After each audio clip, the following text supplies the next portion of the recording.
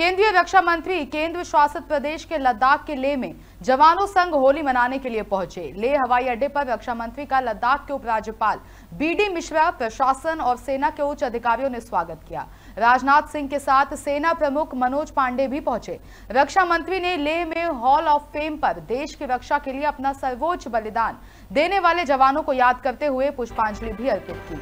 उन्होंने जवानों के साथ होली मनाई। उन्हें गुलाल लगाते हुए मिठाई भी खिलाई। और देश के नागरिक अपने घरों में सुरक्षित तरीके से होली मना सकें। इसलिए सीमा पर देश की रक्षा में तैनात वीर सैनिक तैनात हैं। ऐसे में उनका मनोबल बढ़ाने के लिए रक्षा मंत्री यहाँ पहुँचे। होली का पर्व मनाते हुए जवानों ने खूब गुलाल उड़ाया और एक दूसरे को मिठाइयाँ भी खिलाई। केंद्रीय रक्षा मंत्री राजनाथ सिंह रविवार को विश्व के सबसे ऊँचे युद्ध क्षेत्र सियाचिन में जवानों के साथ होली मनाने के लिए पहुँचने वाले थे। लेकिन मौसम में हुए बदलाव के कारण उन्हें सियाचिन दौरे में बदलाव करना पड़ा।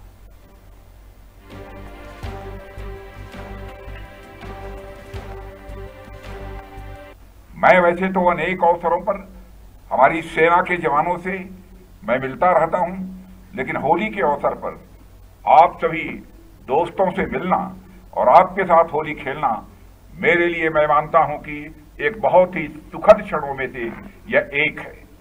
साथियों, उत्सव और त्योहार या मनाने का आनंद अपनों के ही बीच आता है और भारत तो पर्व और त्योहारों का देश है।